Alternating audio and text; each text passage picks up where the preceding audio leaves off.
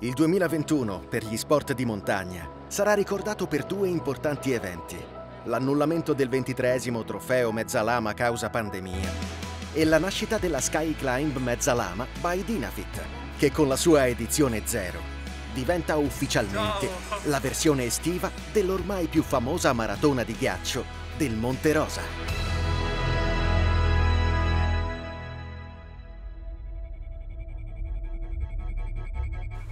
È la gara che mancava nel panorama dello skyrunning mondiale.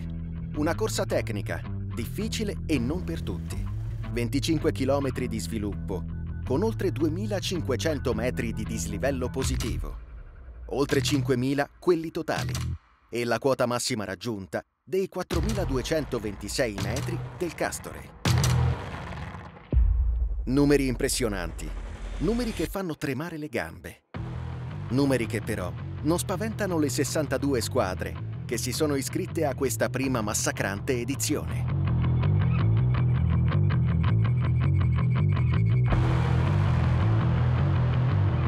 Atleti con un curriculum di tutto rispetto, provenienti da tutto il mondo. Runner preparati, perché una competizione di questo livello non si improvvisa. 15 minuti al via. La partenza viene data come di consueto al mattino presto. Le squadre, composte ognuna da due atleti, sono giunte nella piccola frazione di Saint-Jacques, al sorgere delle prime luci. Come sempre eh, ci onorate della vostra presenza, quindi siamo molto felici di aver eh, lavorato per voi. La tensione è palpabile, la concentrazione è alta, la preparazione dei dettagli, i riti scaramantici, sguardi persi nel vuoto. Ma tutto svanisce quando lo speaker scandisce il conto alla rovescia. 2, 1, go! Ora bisogna solo correre. Bisogna saper dosare le forze. Bisogna saper usare la testa. Per tutti l'incognita del tracciato. Per tanti una sfida contro il tempo. Per molti una sfida contro se stessi. La prima parte del tracciato non presenta grosse difficoltà tecniche. Immersi in uno degli scenari più belli della Valle d'Aosta, i runners si snodano in un lungo serpentone.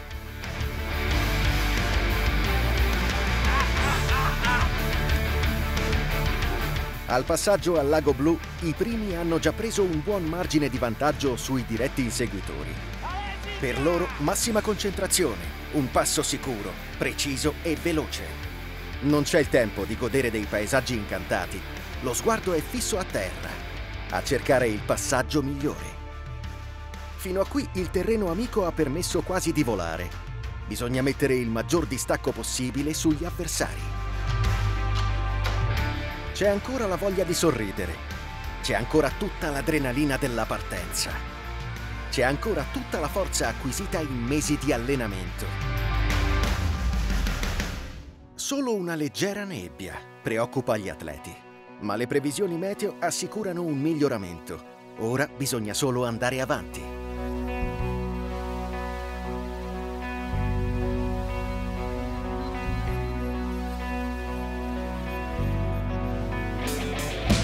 Cambia il panorama, si sale di quota. Non ci sono più gli alberi. Sono i sassi della morena glaciale a dettare l'andatura. È subito percorso alpino. È qui che si fa selezione. Non si corre quasi più, solo passi veloci su gradini artificiali. Ci si aiuta anche con le mani, sia per mantenere l'equilibrio, sia per salire più velocemente possibile.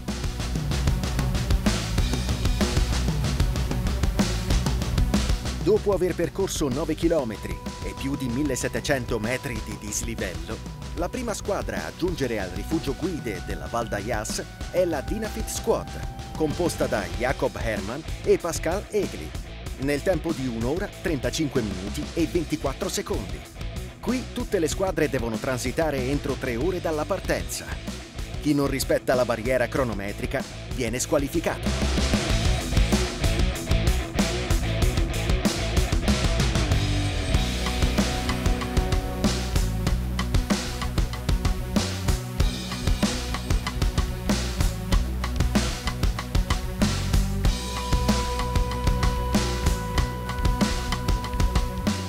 C'è il tempo per un veloce ristoro, ma per proseguire è obbligatorio il cambio d'assetto.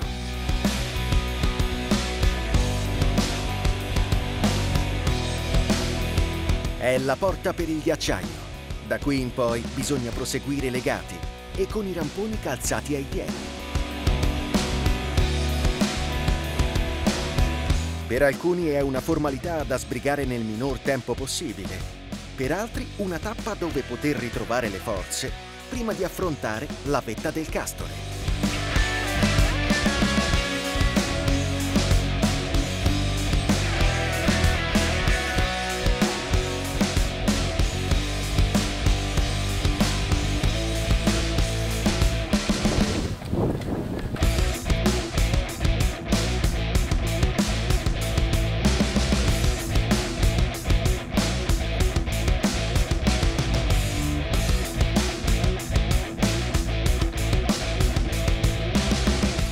Cavalcare l'ambita cresta, bisogna prima raggiungere il passo di Verra, una distesa di ghiaccio antico, eroso dal tempo, come il volto di una persona anziana che tanto ha da raccontare. Il percorso è ben segnalato e monitorato dalle guide, gli angeli custodi dei runners, ma bisogna sempre prestare attenzione a possibili crepacci nascosti sotto sottili ed insidiosi ponti innevati, che in questa stagione sono più instabili che mai. Lo spazio visivo si allunga. C'è modo di controllare a vista gli avversari e di rivedere eventuali strategie. Ci sono ancora 400 metri di dislivello positivo prima della vetta, ma sono anche i più difficili. Le forze sono sempre meno. Ora più che mai serve una buona coordinazione fra testa e gambe. Più si sale e più la parete diventa verticale.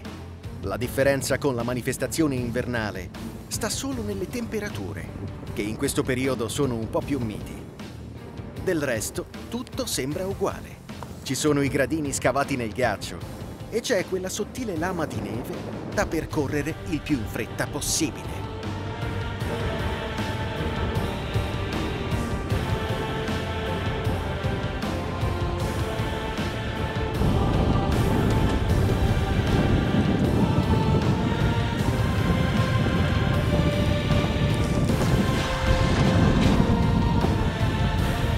Sono gli strapiombi a destra e a sinistra.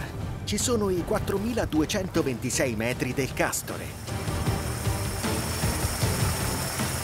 Ora più che mai la concentrazione è massima. Se per qualcuno l'equilibrio sembra precario, altri percorrono la vetta senza mostrare alcun timore, come se quell'ambiente fosse la loro comfort zone. L'aria è più rarefatta, si fa fatica a respirare. I muscoli hanno prodotto il massimo sforzo e un forte vento freddo proveniente da est ha abbassato drasticamente le temperature. Un ambiente estremo, ma tutto è ripagato dalla gioia di essere arrivati in vetta.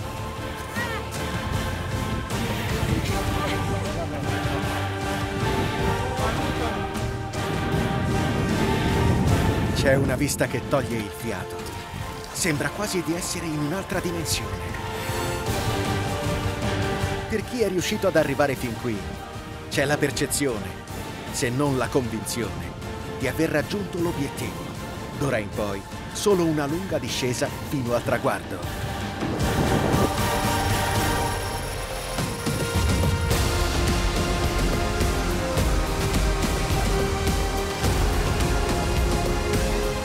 Dal Castore al Quintino Sella è una corsa a rotta di collo.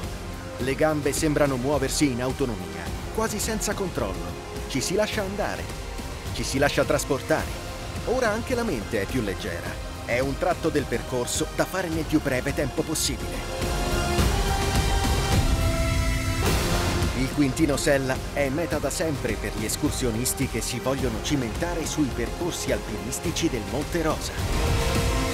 Da qui, oltre che al Castore, partono le vie per il Liscam orientale ed occidentale, per il ghiacciaio del Fenic e quello dell'Is, ed è qui che transitano i runners. Anche qui i primi ad arrivare sono Jacob Hermann e Pascal Egli, seguiti a breve distanza da Daniele Felicetti e Filippo Beccari, del team Dinafit La Sportiva. Da regolamento, d'ora in poi è possibile proseguire slegati. Si potrà procedere quindi in autonomia, anche se il tempo finale verrà preso sull'arrivo della coppia.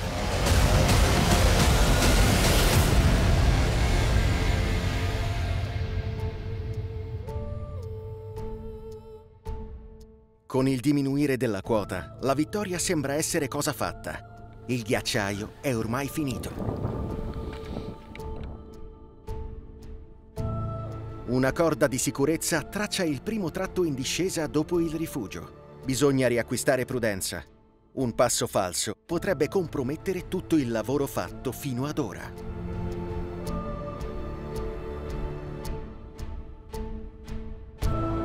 Poi un sentiero scavato nella roccia, sui cui picchi sembrano danzare i corridori, segna la strada per Saint-Jacques.